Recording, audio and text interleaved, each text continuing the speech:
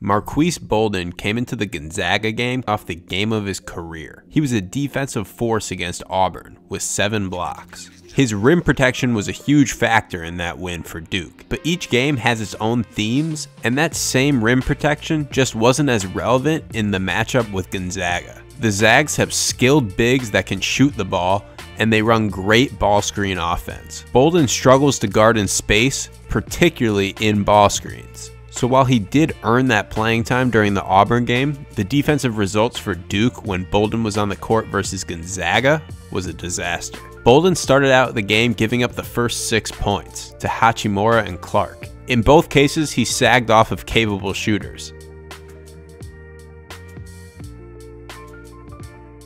He gave up a similar three to Petrusev midway through the half. So right off the bat, there's 9 points Bolden was solely responsible for.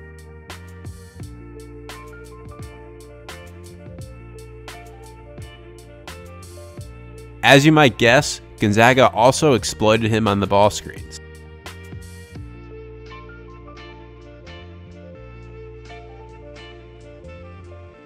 Here, Bolden needs to get into coverage early. He's not mobile enough to be moving forward and guard Josh Perkins at the same time. He's in no man's land on the court and he even leaves his feet. For Gonzaga, Perkins is an elite point guard in ball screens. This no look pass gets Zion to bite. Gonzaga loves to run sets to bring their guards low just to bring them back up to give them a running start into ball screens. Their most used play last night was this scissors set.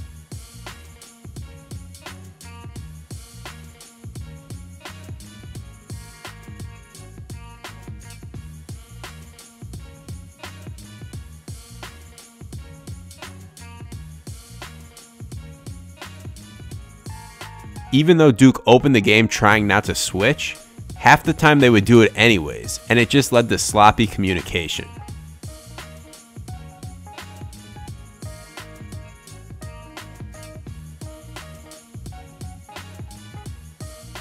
Watch the difference between DeLaurier and Bolden guarding a ball screen. DeLaurier is low in his stance and has active feet to backpedal.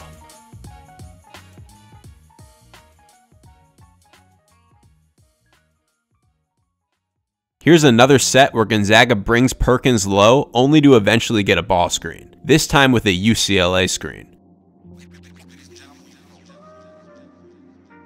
Not only is Perkins a great passer, but the ability to shoot off the bounce if the defense goes under the screen makes him a really tough guard. The other way Gonzaga exploited Bolden was with rush out ball screens that put him in space. A lot of times they didn't even really set the screen, which makes it even tougher for Bolden to stay ahead of the play.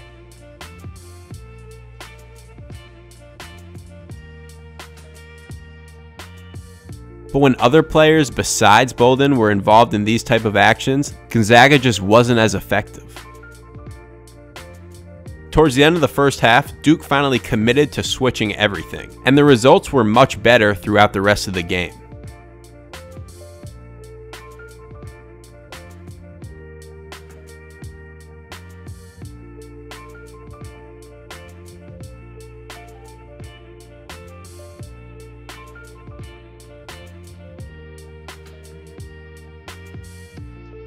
They even tried to switch with Bolden, who actually does his job here. Perkins just hits the contested long two. With 16.36 to go in the game, Bolden subbed out and never checked back in again. Instead, Coach K played smaller lineups. This adjustment did work last night, but is it a good strategy for Duke going forward? The biggest potential problem for the small ball lineups is if Jack White is a versatile enough one-on-one -on -one defender. The more you switch, the more opponents will resort to simply just picking on the best matchup on the court. For Gonzaga, they chose White guarding Hachimura. White wasn't perfect, but he had some crucial stops and overall definitely proved himself worthy of guarding bigs going forward. Gonzaga has about as strong of a front court as anyone in the country, and against a lot of teams, there will be a lesser player than Hachimura to put White on. It's not that Bolden has no value as a rim protector, but in this particular matchup versus Gonzaga, Duke probably wins the game if they pull him earlier in favor of White and DeLaurier.